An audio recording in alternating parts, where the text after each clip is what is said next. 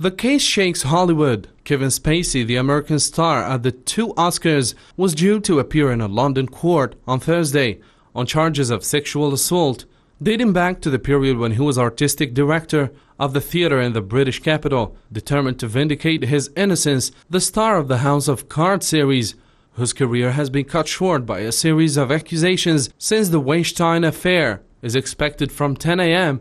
at Westminster Magistrates Court. The Taiwanese Army presents its largest domestically manufactured armored vehicle, the CM-34 Clouded Leopard. The all-weather combat vehicle is armed with a 30mm cannon with an effective firing range of 3 kilometers. Taiwan has undertaken to develop its own weapons program to strengthen its defense capability against China. The CM-34 production plant, located in the center of the island, which can produce 6 vehicles per month.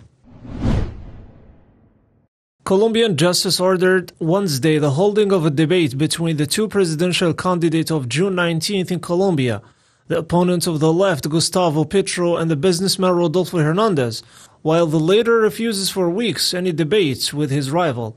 In a verdict published today, a court in Bogota ordered the two candidates to jointly program a major public media presidential debate.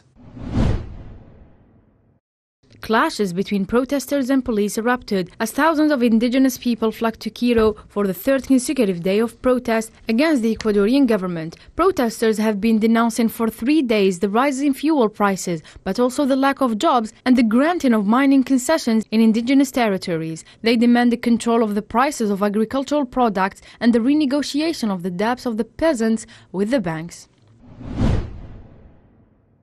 Protests have been erupting in many Indian cities to condemn the demolition of homes and businesses belonging to Muslims. In what critics call a growing pattern, bulldozer justice aimed at punishing activists from the minority group. The protests were sparked by derogatory remarks about Islam and the Prophet Muhammad made recently by two spokespeople of Prime Minister Narendra Modi's Hindu nationalist Bharatiya Janata Party.